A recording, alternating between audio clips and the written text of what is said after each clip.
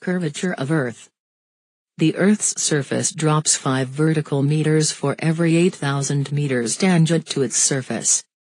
8,000 meters. 5 meters. 8,000 meters. 5 meters. How fast does an object need to go to become an Earth satellite? How far does an object fall in one second? 5 meters. How far along the horizon must you go for the Earth to curve? 5 meters down. 8,000 meters. 8 kilometers per second for orbital speed close to Earth. The period for a satellite in low Earth orbit is about 90 minutes. Circular orbit. Does the force of gravity affect the speed of a bowling ball down an alley? Nope. Similarly, the forcetion of motion, no work. The period for a satellite in low Earth orbit is about 90 minutes. At which position does the satellite have its greatest speed? Why? Same speed everywhere along path. C. B. D.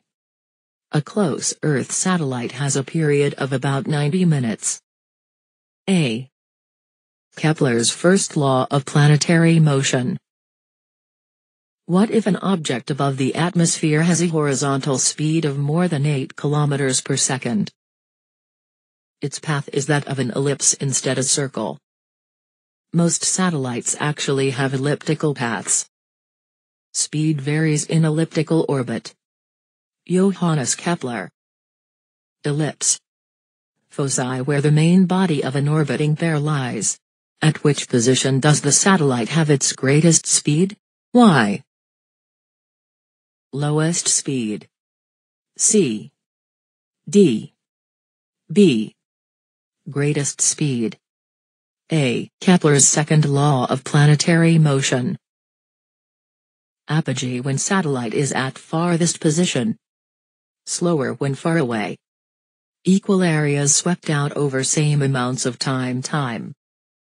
Perigee when object is at closest position. Faster closer to other source of gravity. Energy conservation and satellite motion. The sum of potential and kinetic energies of a satellite remains constant, K plus P. K plus P. K plus P. K plus P. K plus P. K plus P. K plus P. K plus P.